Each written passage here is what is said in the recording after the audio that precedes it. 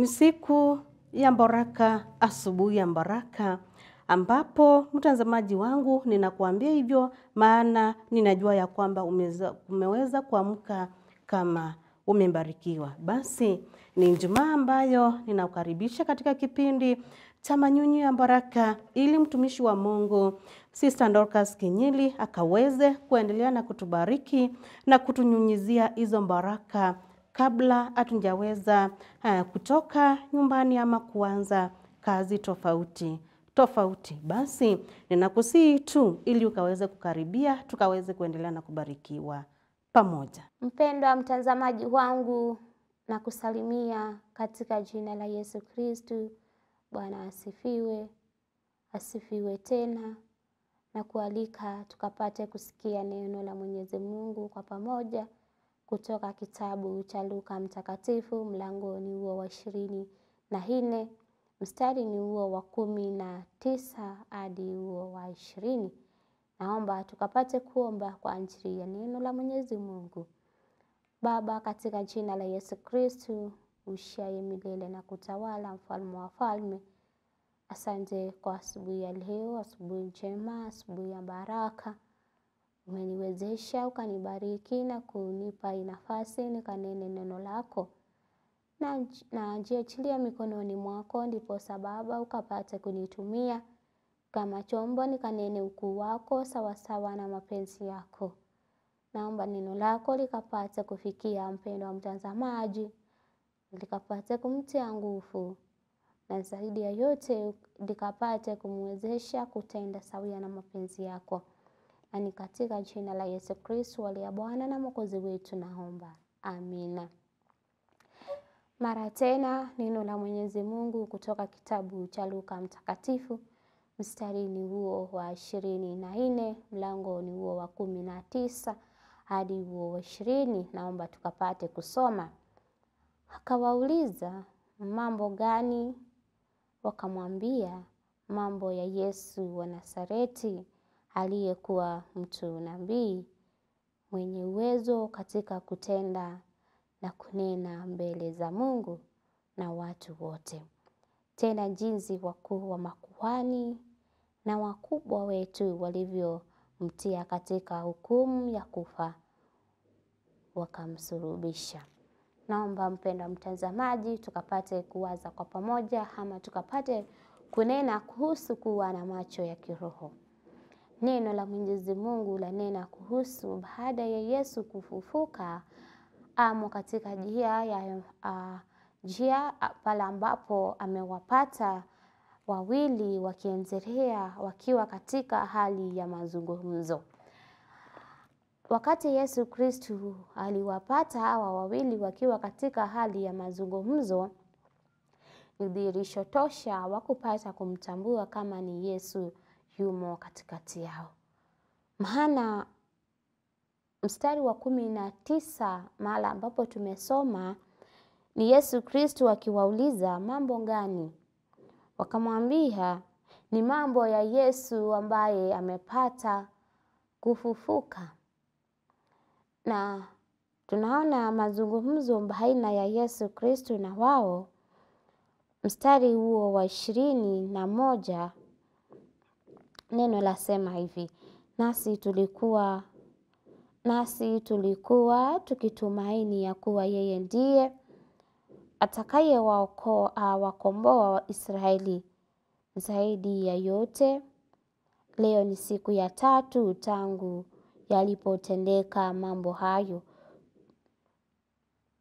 Leo ni siku ya tatu baada ya kufufuka kwa Yesu Kristu. Tunaona Yesu mwenyewe akiendelea na mazungumzo na kusema, akawaambia, enyi msiofahamu, wenye mioyo mizito ya kuamini yote waliosema manabii, enyi wenye mioyo mizito amyafahamu yote manabii walioyasema. Ndio maana nikatangulia kusema, naomba tukajifunze kuwa na macho ya kiroho, Various having a spiritual eyes. Mpendwa mtazamaji wangu, iwapo katika haya maisha utakuwa na macho ya kiroho, utakuwa mtu wa muhimu sana, kwa maana in the spiritual life utakuwa unapata una uwezo wa kutambua mambo ya kiungu na mambo ya humu duniani. Na iwapo utakuwa na macho ya kiroho, shetani hata ku, hata kushinda nguvu, shetani hata kushinda nguvu, kwa maana utakuwa mtu ambaye wa kulisoma ile neno, mtu ambaye ni mwombezi, mtu wa kuomba, mtu wa kuzungumza na Mungu na mtu ambaye anaweza kumshinda shetani na nguvu zake. Yesu Kristu amepata kuwakumbusha yaliyonenwa na manabii because alitambiriwa, ilitambiriwa kana kwamba atayapitia haya yote na siku ya tatu atapata kufufuka. Mpendwa mtazamaji wangu, iwapo tutakuwa na macho ya kiroho tutam, uh, tutamkaribisha Yesu katika maisha yetu, na iwapo tutamkaribisha Yesu katika maisha yetu, Jesus will be there and he will open our eyes, atatufungua macho yetu, na Yesu akitufungua macho tutafanya mambo ambayo yana nguvu na uwezo wa Mwenyezi Mungu. Jinsi Yesu alivyoenenda na wao katika mazungumzo, tukimkubali Yesu Kristu ataenenda pamoja nasi hatua kwenda ile ingine lakini kuna mambo ambayo tunayaona na hawa wawili katika safari yao, ingawaje walikuwa wafuasi wa Yesu Kristu. Jambo moja, imani yao haikuwa kamilifu. I may say they had that are weak faith because hawakuwa na macho ya kiroho. Kwa hivyo, mpendwa mtazamaji, kuwa na macho ya kiroho, kuona jinsi, kuona mambo kiroho. Mpendwa mtazamaji wangu, elewa, kunayo macho ambayo utaona mambo tu kama mwanadamu, bali hauna nafasi ya kukaribisha Roho wa Bwana akufunulie kuwa na macho ya kiroho uta, uta, utafanya mambo kiroho, na ninaposema kufanya mambo kiroho ni kukaribisha Roho wa Mwenyezi Mungu kwa njia ya maombi akufunze zaidi.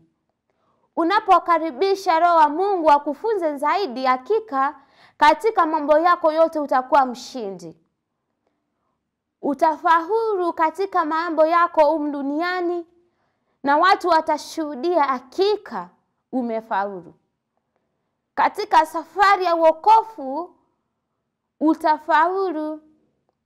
Kwa hivyo ni jukumu letu, jukumu la kila mmoja kuwajibika kutenda mambo, ukikaribisha Roho Mtakatifu akufunze. The disciples was are weak in faith.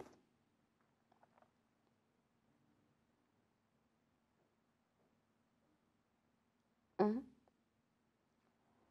Tunaona Yesu Kristu alipoambatana na wao katika ile safari, it's like he was a stranger to them. Hawakuwa na ile hisia dhamira, huyu ni mwana wa Mungu. Kwa hivyo, mpendwa mtazamaji wangu, neno la tuhimiza mambo yoyote yale ambayo tutakayoyatenda, ni jambo la muhimu sana kuhusisha Roho wa Bwana. Ni jambo la muhimu sana kuomba uwezo wa Roho Mtakatifu, kuomba Roho wa Bwana akatutangulie, na zaidi ya yote tuzidi kuomba Mwenyezi Mungu tukapate kuona mambo kiroho. Because if we are going to have no the spiritual eyes, yule mwovu shetani atatuangamiza kwa mbinu zake, kwa maana yumo kila mahali kutafuta wale ambao wamesimama, wale ambao wanaitanishwa na jina la Yesu Kristu. Yule mwovu shetani yumo kuangamiza, and he is there and he is very tricky to ruin God's people. Kwa hivyo ni kwa yu- yule ambaye ana macho ya kiroho atatambua njia za yule mwovu shetani. Kwa hivyo, mpendwa mtazamaji wangu, asubuhi ya leo ni ombi langu tuwe na macho ya kiroho, tukaone mambo kiroho, tukatende mambo kiroho, na kika neno la Mwenyezi Mungu na nguvu za Mwenyezi Mungu zitakuwa pamoja nasi na tutakuwa washindi katika haya maisha ya duniani, katika mambo yetu, mambo yote yetu yale ambayo tutakalo uh, tutakayoenda kuyatenda, na katika hii safari ya uokofu tutakuwa washindi. Kwa hivyo, mpendwa mtazamaji wangu, jitie nguvu na Bwana akubariki na Bwana akuwezeshe utende mambo kiroho na uwe na macho ya kiroho. Bwana atubariki na abariki neno lake. Amina. Na tukapate kuomba. Baba, katika jina la Yesu Kristu, asante kwa sauti yako na kuomba ye Baba wa mbinguni, ukatupe kutenda sawia na mapenzi yako, ukatupe macho ya kiroho, tukaone mambo kiroho, tukawaze kiroho, na kila jambo lolote tutende kiroho. Asante kwa maana wewe ni mwaminifu na utaendelea kuwa mwaminifu kwetu. Tutie nguvu na utuwezeshe. Fikia mpendwa mtazamaji, muone neema na umpiganie katika hii safari ya wokovu. Asante kwa maana umesikia na utajidhihirisha sawia na mapenzi yako, na ni katika jina la Yesu Kristu aliye Bwana na Mwokozi wetu twaomba, amina. Kuwa na macho ya kiroho. Ni Yesu tu ama ni Mungu tu peke yake anaweza kutufungua na, uh, na tuwe na macho ya kiroho. Omba Mwenyezi Mungu, omba kabisa ili akaweze kukufungua na uwe na macho ya kiroho. Na ukiwa na macho ya kiroho, hata ulimwengu wa giza hautakuwa na nguvu yeyote ile juu yako. Tuombe sana ili tuwe na macho ya kiroho. Ni Ijumaa ambayo ninajua kuna wale ndugu zetu ambao huwa wanaenda katika nyumba za ibada kuabudu Mwenyezi Mungu kwa siku ya leo. Ninawatakia ibada njema, ibada ya baraka, na Mungu akaweze kuwa pamoja nanyi na wale wengine ambao mtakuwa katika shughuli tofauti tofauti, kazi tofauti. Mungu na atutangulie, Mungu na atulinde, Mungu na awe pamoja nasi. Shalom.